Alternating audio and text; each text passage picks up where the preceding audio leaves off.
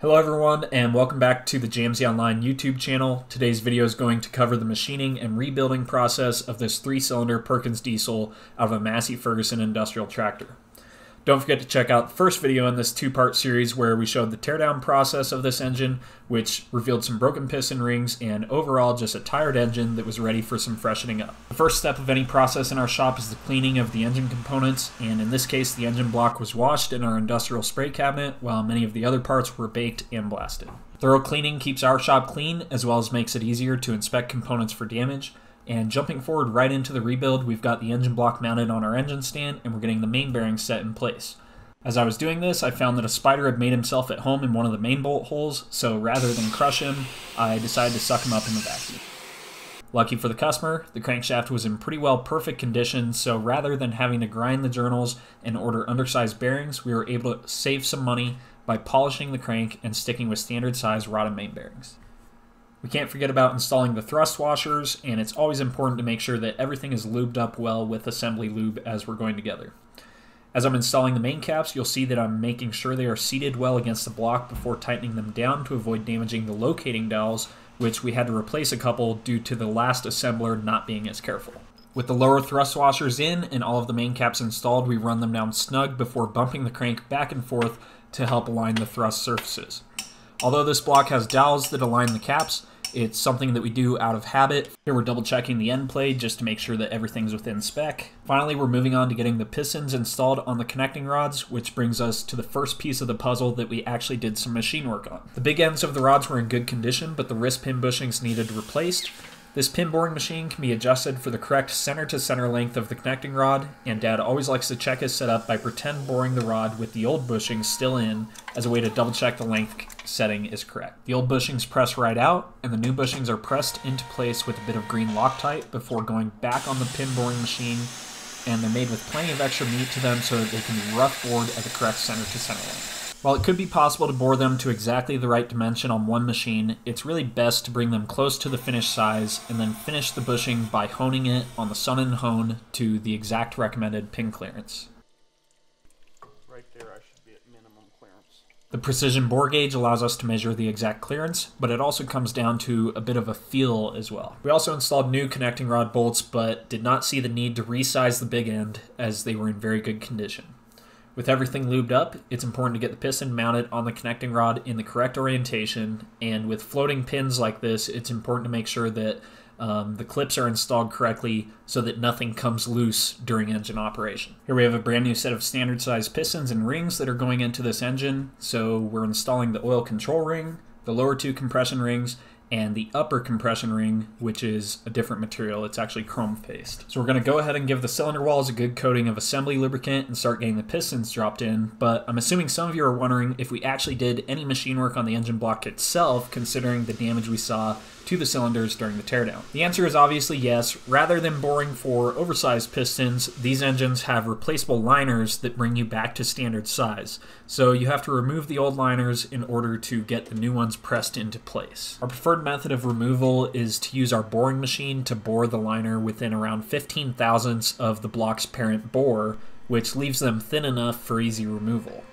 This does require centering up accurately on each cylinder, which really isn't too tough on our machine, which has a centering indicator, and by moving the table of the machine in the X and Y axes, we can get the indicator to show that we are centered sufficiently accurately before locking down the table and making our machining operation. With the cutter set to the correct dimension, it's as simple as getting the cutter installed into the spindle and firing up the machine to make the cut.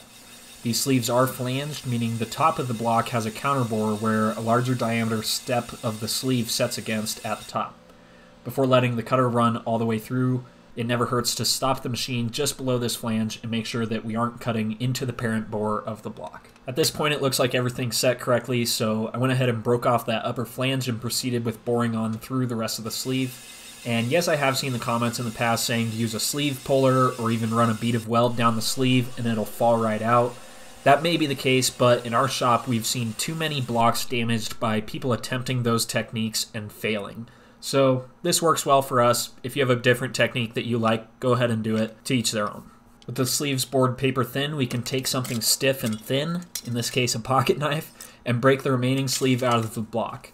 Sometimes you can get it to simply break out in one piece, but I ended up with the sleeve still a little bit thick here, so it didn't come out quite as easily. Upon inspecting the parent bores of the block, everything looked to be in adequate condition, unlike a Farmall that I have a video from roughly a year ago where we found the parent bore to be in terrible condition, so that was good.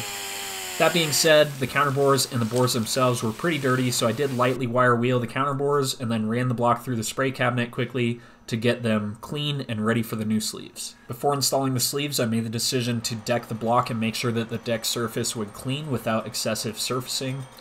If excessive surfacing was required, it would mean that we needed to recut the counterbores deeper so that the flange sleeves didn't stick up too high. But the surface cleaned in just under 2 thousandths, which wasn't excessive enough to warrant recutting the counterbores. The sleeves do have pretty thin walls, so there is a chance of damaging them pretty easily if you aren't careful with getting them pressed into the block.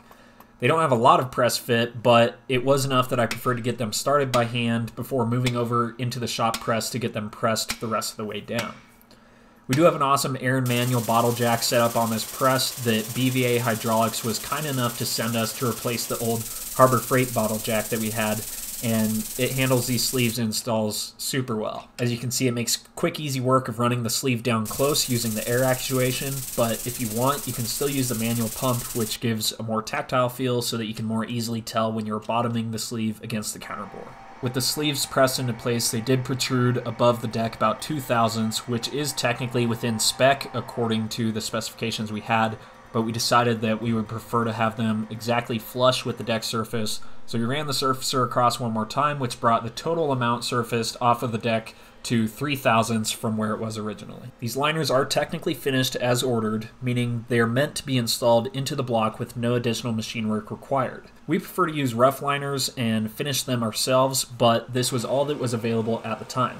That being said, we do prefer to go ahead and do a bit of finish work on them in our cylinder hone, as you will often find that there are tight spots present in the sleeve, which should really be straightened out for this engine to run at its best when it's done with no issues.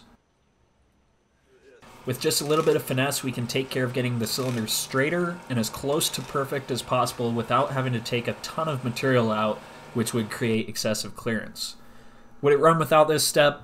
Probably so, but why not make it as good as it can possibly be when it leaves our shop? At that point, we've completed all of the machine work necessary on the block itself to get it ready for reassembly, so the block gets one last wash in the spray cabinet to take care of any grime that may be left from the machining process before it can be reassembled. And with that, we can jump back to where we were as we were getting the piston assemblies installed in the block. A good ring compressor is always a key to getting the assemblies into the cylinders without any damage, and bolt boots should always be used on the rod bolts to prevent dinging the crank as the rod comes against the crankshaft. The new rod bearings have assembly lubricant on them as well, and we always like to ensure that the rod caps are well seated against the rod before going ahead and tightening and torquing the rod nuts. Once all of the pistons are in and the rod bolts have been torqued to spec, we're going to roll the engine around so that we can go ahead and measure the piston height relative to the deck surface of the block to make sure that we're within the specified limits of protrusion or recession.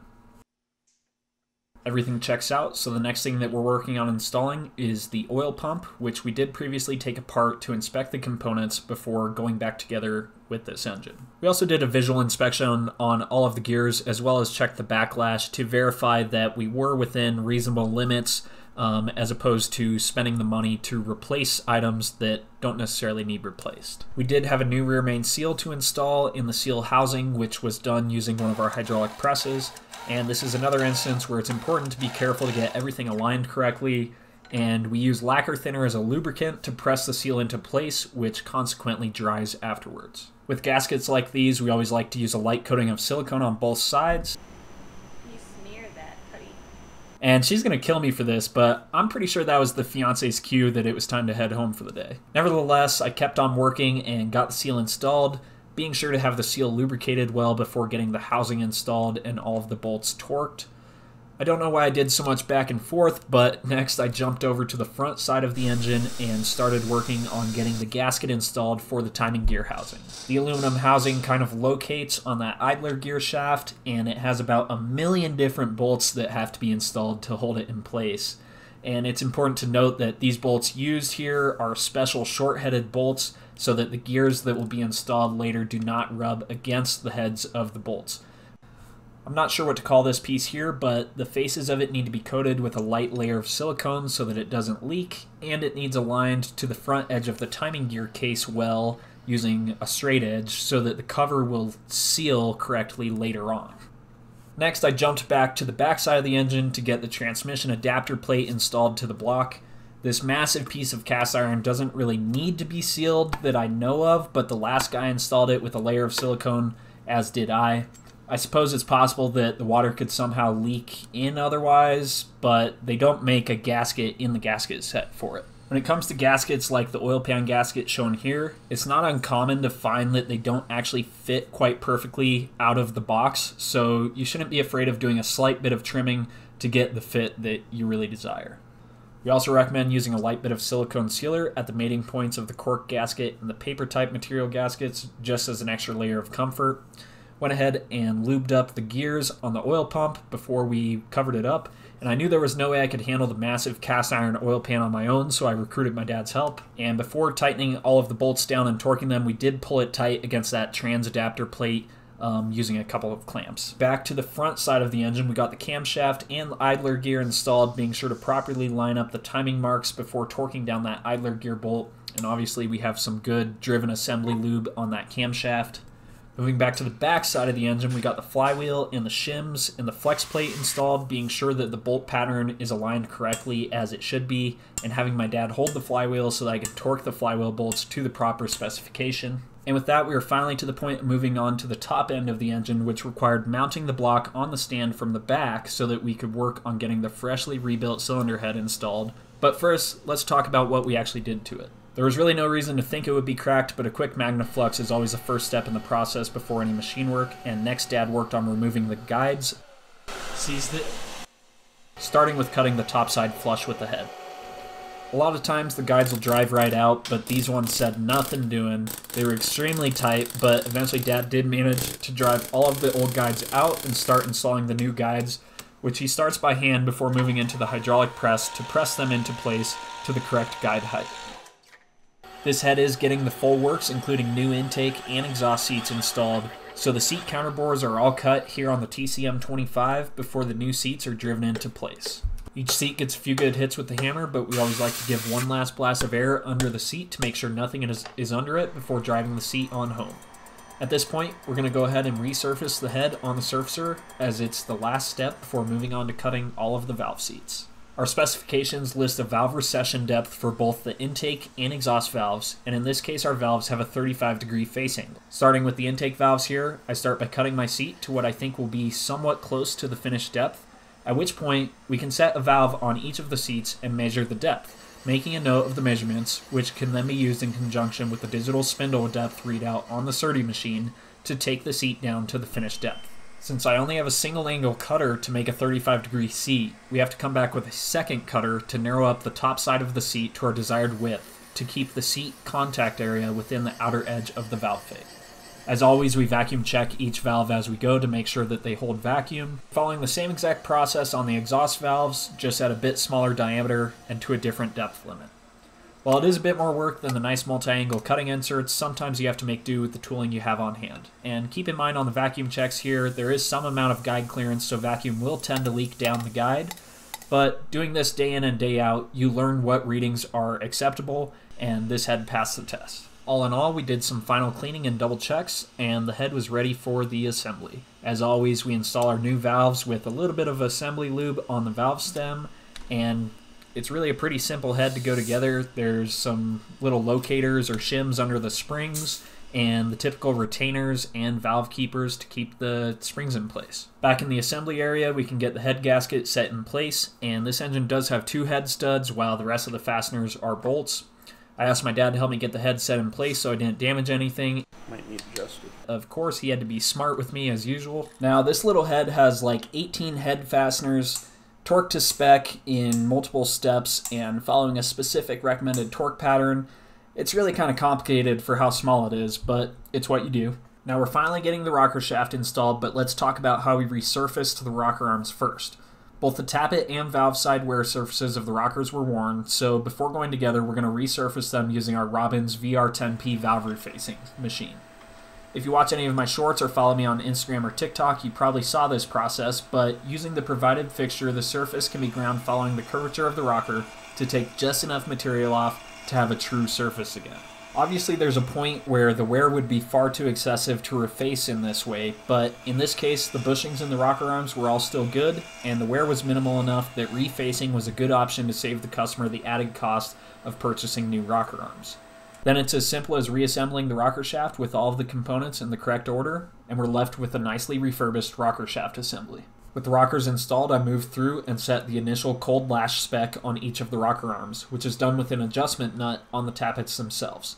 Checking with our feeler gauges, we set them so the proper size feeler gauge slides between the valve tip and the rocker, while the next size feeler gauge will not. We ordered a set of rebuilt injectors from Spencer Diesel in Spencer, Iowa, who have always been really good to us in the past with my dad's own tractors as well as work for our customers. And no, they don't sponsor us. I just think it's really important to let other businesses know when you appreciate and trust their services. Getting closer to wrap this engine up, the front cover gets a new oil seal, and in addition, we replaced the missing camshaft thrust spring that wasn't present when we tore the engine down.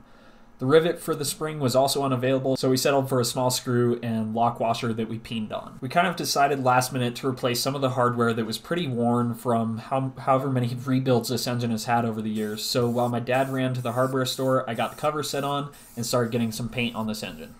I only had two cans of spray paint for this, and the first one was definitely the wrong color. Um, but the second one, I'm pretty sure was the right color according to the hardware store. With some new bolts in my hands, I got this back cover where the tachometer drive goes installed with a new oil seal. Getting kind of our final look here at all the timing gears, we got a healthy amount of assembly lube on the gears, and my dad helped me go ahead and get the gaskets in place so that we could install the front cover plate. The cover does have that front oil seal that needs to be concentric to the crank pulley here where it seals, so before tightening down any of the bolts, it's important to get that pulley pushed on and make sure that the plate is aligned well. With that, the build is really coming together, getting those last bolts tightened down on the cover and installing the pulley with the crank bolt torqued to the proper specification. There were a few things here and there like the oil and fuel lines that were also installed along the way, but I really hope you guys enjoyed watching this quick overview of the machining and rebuild process of this little Perkins diesel engine. We are Jim's Automotive Machine Shop Incorporated or JAMSI Online, and we greatly appreciate all of our subscribers' support. Thanks for watching.